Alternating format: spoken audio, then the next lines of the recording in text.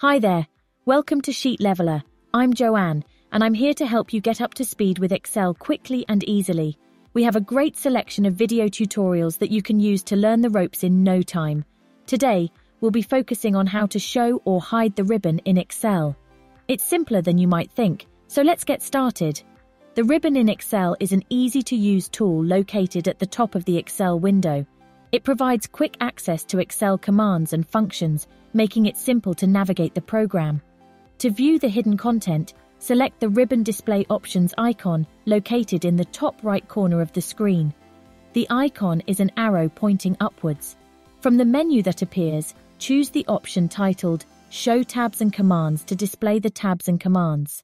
When you have Excel open, you will see the ribbon at the top of the window with all of its available functions. This is the default display when the program is launched.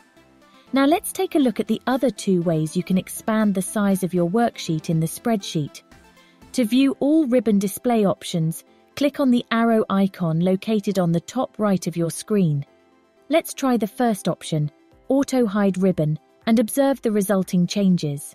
This option will make the ribbon disappear from view, but if we ever need to use it, we can easily bring it back by clicking on the bar at the top of the window. A ribbon of options will be displayed, allowing you to select the function that you require. To get rid of the ribbon, click anywhere inside the spreadsheet area and it will be hidden. Once the ribbon at the top of the spreadsheet is no longer visible, you can use the spreadsheet in an extended full screen view. We still have one option remaining to consider. Let's select the ribbon display options icon one more time, and this time choose Show tabs from the choices. With this perspective, you will observe the individual titles of each tab.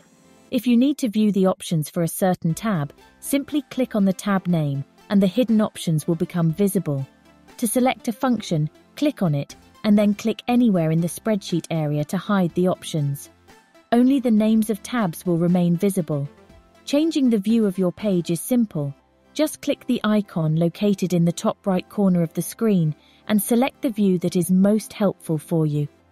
To return to the regular view, select Show Tabs and Commands. This will display all tab names and options at all times. If you would like to expand the range of your spreadsheet, there is a helpful trick you can use. If you would like to know how to make the formula bar appear or disappear in Excel, please watch the Sheet Leveller video tutorial for further instructions. The link to the information you need can be found in the description below. If you found this tutorial useful, please show your appreciation by giving it a like. We would love to have you join our online community. Simply click the subscribe button to get started and learn how to use Excel like a boss. Thank you for watching and we look forward to seeing you in our next video.